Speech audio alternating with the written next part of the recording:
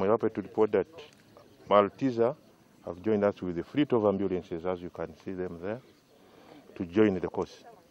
found it very important to respond as fast as possible um, yeah, to the incident happened here in Kasese.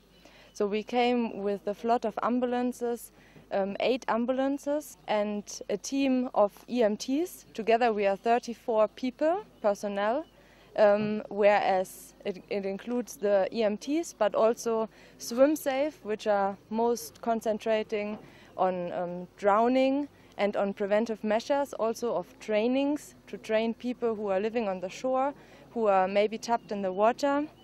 And we also have two personnel from the fire and rescue station from Kampala. okulaba abantu abakoseddwa n'okuyambako okulaba nti tuggyayo abantu abo abali abayinza okuba nga bakyawagamidde awantu wonna nga tebasobola kujja ku lukalu